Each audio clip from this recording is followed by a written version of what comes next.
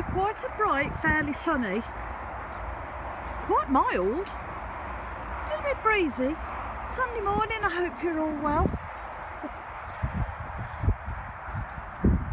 Well, can't believe how calm it is at the moment. Yes, we've got a bit of a wind, but it is it is relatively calm at the moment. Apparently later on today we're supposed to be having Storm Isha, Aisha, whatever her name is, she's supposed to be coming. Um, they're going to cop it more up north and then we just might just get the brunt of it, you know, the sort of the back end of it. Um, but that's what we seem to be getting just lately, isn't it lovely? Winter storms. I mean, back when I were a kid, in the olden days, I don't remember having as many storms as we have been having, or, you know, over the last few years. I don't remember that many storms. I do remember Michael Fish saying, oh, a lady rang up and said there was a hurricane coming. No, it's not on our charts. And then what happened? The hurricane came and just caused mass devastation. Um, poor bloke never lived that down. But yeah, generally, we never had as many storms as we do now. We do get an awful lot of storms and it just seems to be one after the other. Well, we only had one a few weeks ago. Uh, well, about a week ago. Henk, I think its name was. That came and caused a bit of trouble. But I'm afraid that's how we are at the moment. I don't want to get on the global warming bandwagon because to be honest with you I do think it's done to death and nobody's listening. However what I will say is yeah the world is changing and particularly the weather. The weather is changing. We're getting more warmer and wetter than we are like a proper winter, you know, like snow and ice and things like that. We are getting warmer, warmer and wetter. And to be honest with you, I'm not too sure whether that's a good thing or a bad thing. Um,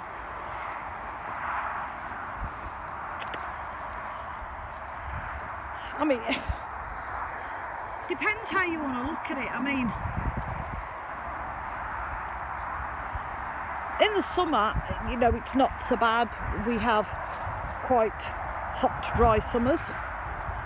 Um, and I think as time goes on, that may get worse because it will get to the time where we'll be having droughts, long droughts every summer.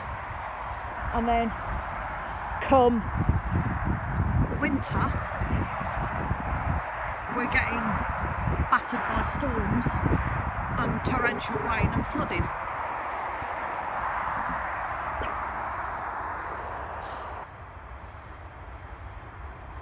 Think that's how it's going at the moment.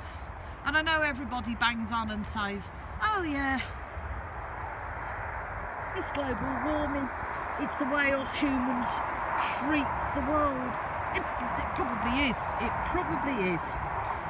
But the way I think of it is,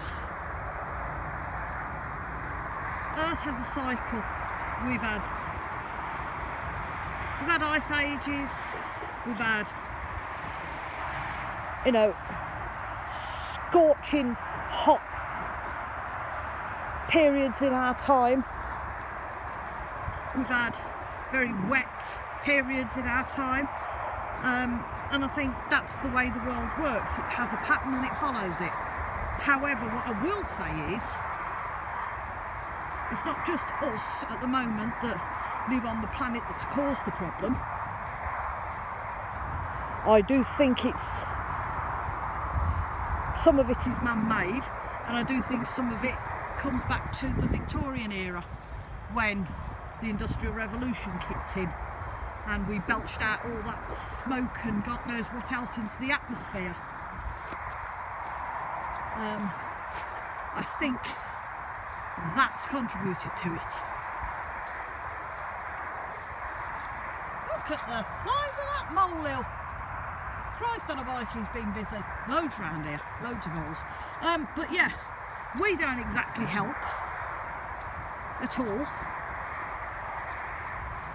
You know, with our with our cars and our plastics and cutting down trees for wood and paper and cardboard and things like that.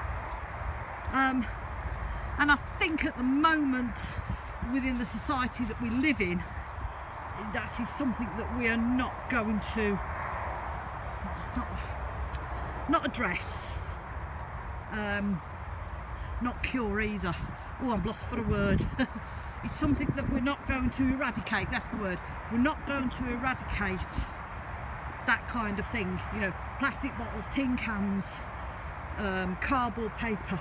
We're not going to eradicate that fossil fuels emissions because currently at the moment that is how our planet works. That's how us as human beings work. That's what we need to survive on. And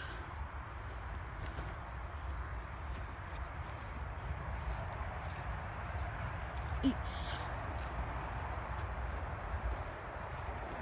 it's something if we want to eradicate that kind of thing and live a more clean pure life it's something that the human race uh, on a whole needs we all need to do it. Not just the odd few not just the eco warriors not just those who are concerned about the state of the planet not just those who think I'll jump on the bandwagon it's flavour of the month that'll make me look cool hip and trendy. Everybody needs to do it. Everybody needs to live a more sustainable a more recyclable life. It's it's something that's got to be done sooner rather than later because we don't want to get to the point where we think you know earth's on its last legs. And if we don't do something about it that's it the human race has gone. Because by that time it's too late. We we need to do something now. Otherwise we're not going to have a, a, an earth to live on. Um, and to be honest with you I don't think it's going to happen in my time. And I don't think it's going to be happening in my children's time it may start in my grandchildren's and my great-grandchildren's time. But we shouldn't be letting it get to that stage. We should be doing something about it now.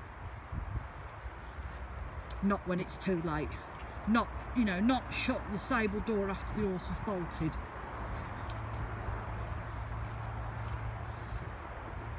we should do it now.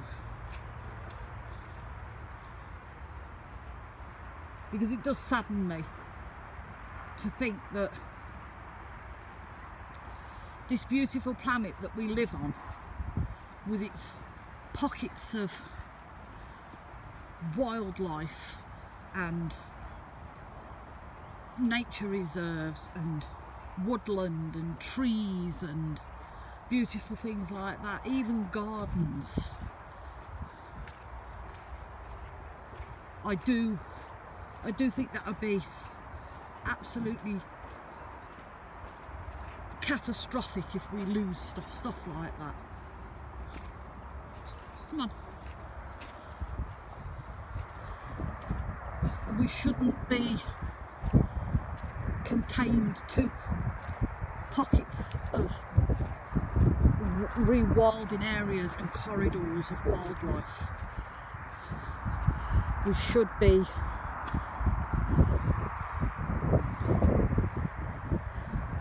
we should have plenty of places where we and wildlife can flourish together and not destroy it just for some greedy gain just for some somebody to line their pocket with a building that will stand empty until somebody decides that they're going to use it.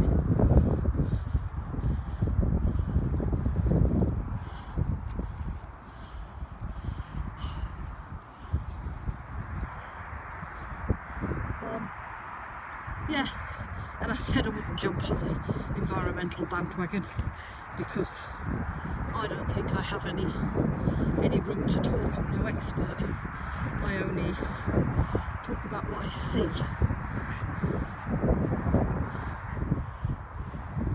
And this is what I see. Woodland. Meadows.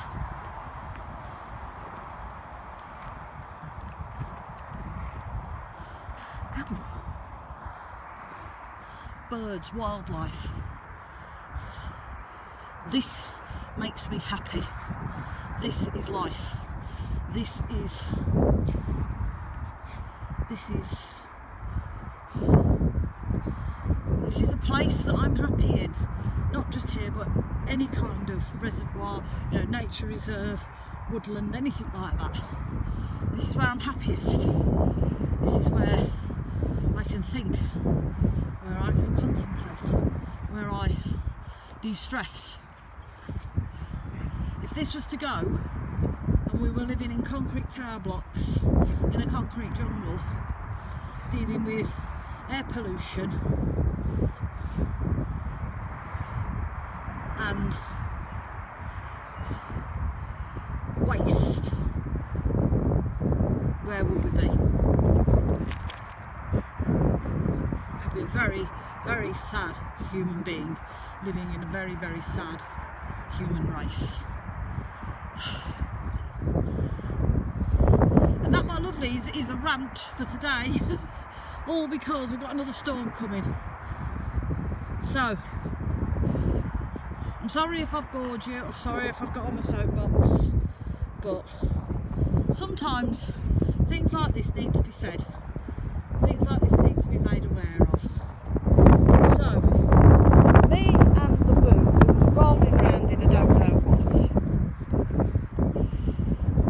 probably rabbit droppings we are going to go finish our walk and then we're going to go home and we're going to go and do some jobs around the house and we're going to cook a dinner.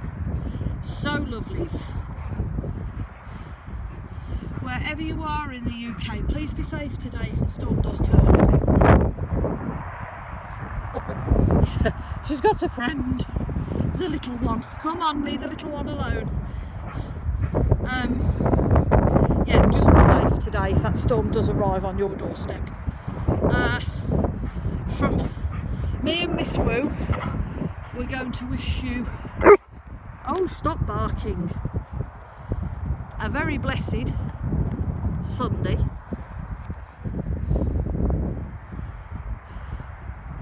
Do look after yourselves, lovelies. And remember, if you're struggling, please reach out because there's always somebody there that will help you. Look after one another, lovelies, because it is important. And if nothing else in this world, please be kind because you don't know what that other person's going through that stood next to you. And as always, from me and a woo, we're going to send you all much love and many blessings.